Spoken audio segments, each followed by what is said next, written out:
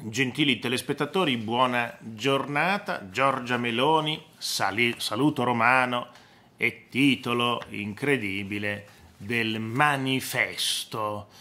Eh beh, il manifesto si manifesta. Forse è la redazione più rossa d'Italia e non hanno preso bene la vittoria di Giorgia Meloni, di Fratelli d'Italia è un bel problema psicologico per tanti in Italia. Ecco, e così si arriva a fare titoli, a mettere foto di cattivo gusto, però questa è un'altra cosa. Eh, I titolisti della prima pagina, ecco, eh, non è uscito un titolaccio telefonato, oltre che ovviamente un po' offensivo, ecco il fascistissimo a noi scritto cubitale con una foto della Meloni che si rivolge alla platea, colta guarda caso nel momento in cui il braccio sembra teso in un saluto romano, in realtà eh, sta, eh, è l'inquadratura, l'inquadratura della fotografia da sotto sembra un saluto romano, ma se l'inquadratura fosse stata fatta d'altezza eh, normale era uno che sta parlando così dicendo allora facciamo però visto inquadrato da sotto sembra, sembra un saluto romano. Pertanto eh, fare un titolo dove metti una foto che non è manipolata ma è fatta in un certo modo e poi scrivi a noi insomma eh, definisce, definisce chi eh, chi gestisce questo giornale. Ecco, il copione è evocare il ventennio. Beh, ci hanno giocato con Berlusconi e Salvini, descrivendoli come gerarchi, nuovi dittatori. Adesso che c'è l'originale Fratelli d'Italia, cioè la vera destra, no? si accusava Berlusconi di essere il cavaliere nero quando era un imprenditore che scendeva in campo per difendere se stesso e le sue azioni paura, eh?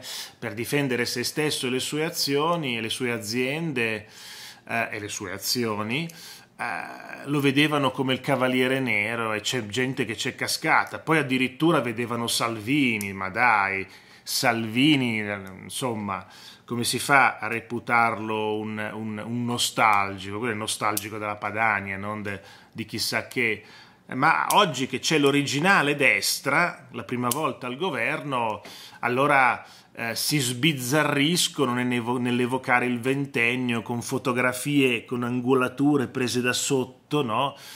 Ecco, e, e con il titolo A noi, no? Che a noi era uno degli slogan eh, mussoliniani del, del, ventennio. Ecco, eh, così eh, il manifesto di Norma Rangieri riesce a sorpassare tutti, il domani, la Repubblica, la stampa, eh, quei quotidiani che sono monotoni nella propaganda contro la Meloni, oh, forti di settimane di allarmismo sulla nuova Ducetta, perché a Roma, eh, parlando con un signore che saluto, lui sa chi, di chi sto parlando, un signore che ho incontrato sulle scale ad Ostia, che ho scoperto che era un gentile telespettatore, e mi dice, sai come la chiamiamo eh, qui a Roma, la Meloni? No, dimmi, come la chiamate? La Ducetta. Ah, non lo sapevo, insomma, eh, solo girando l'Italia poi scopri tante cose che se no non puoi sapere, non puoi scoprire, ecco.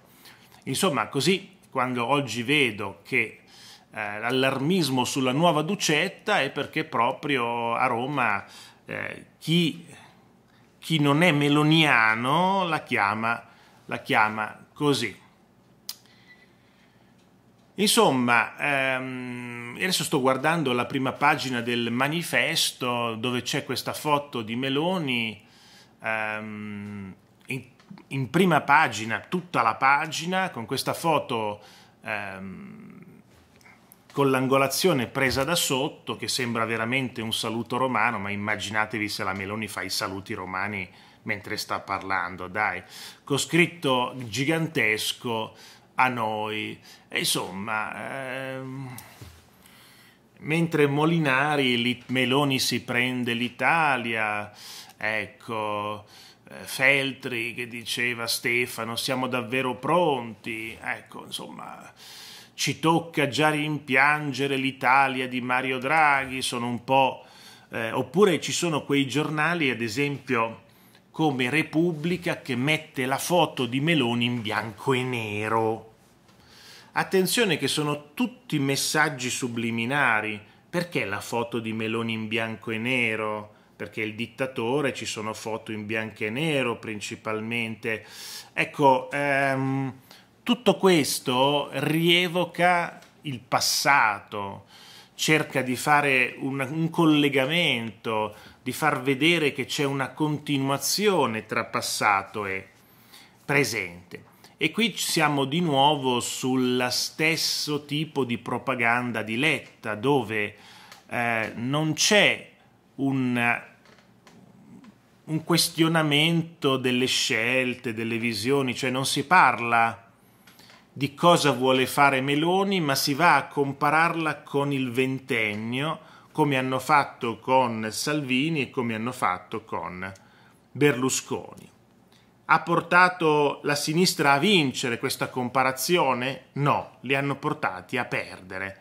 E allora perché continuano a fare così? Perché non sanno cos'altro fare. Non hanno la capacità di contrastare il centrodestra sui temi. Avete visto sui temi quante cose ha proposto il centrodestra?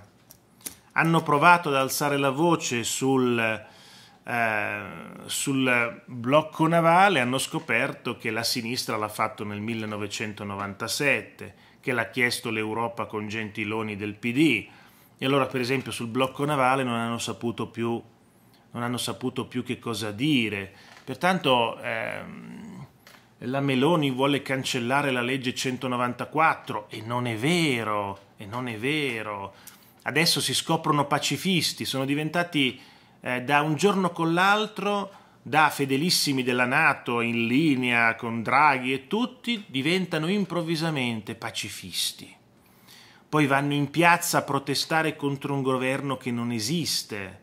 Va Orlando, ministro del lavoro, a protestare con la CGL contro proprio il Ministero del Lavoro e le politiche che ha fatto in questo governo dove proprio Orlando è il ministro. Quindi un ministro che va a protestare contro se stesso, una sinistra che protesta contro il nulla, i giornali che mettono le fotografie in bianco e nero per rievocare...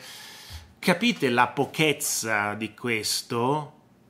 Capite che questa, questo non funziona più, ammesso che abbia mai funzionato anche negli anni 90 non ha funzionato con Berlusconi perché ha governato per oltre dieci anni.